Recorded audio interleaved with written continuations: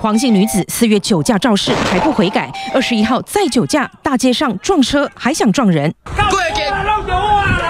一连撞了四辆车，还不断的绕圈挑衅。远景在，他也不放在眼里，下车直接呛瞎。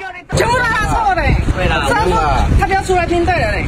口气很大，态度嚣张，还不时动手推警察。酒测值一测，数字很吓人，高达一点零四五毫克。毒物科专家说，这相当于在一小时内喝了一百一十 CC 的五十八度纯高粱酒。基本症状会神志不清、双眼失焦、四肢不协调，严重会倒地不起、心脏麻痹死亡。他没办法控制他的行为。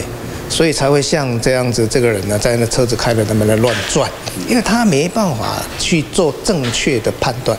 专家说，这样的程度，不要说不能开车了，连走路都有问题。黄姓女子连续酒驾，不知悔改，还一错再错，完全不把自己性命和其他人的性命当一回事儿。不止她，日前一名垃圾车司机第四次酒驾撞死陈运老妇人，当下自己吓得还腿软下跪，酒测值零点三二。不论是他还是黄姓女子，夸张的一点零四五毫克，酒后开车不可原谅。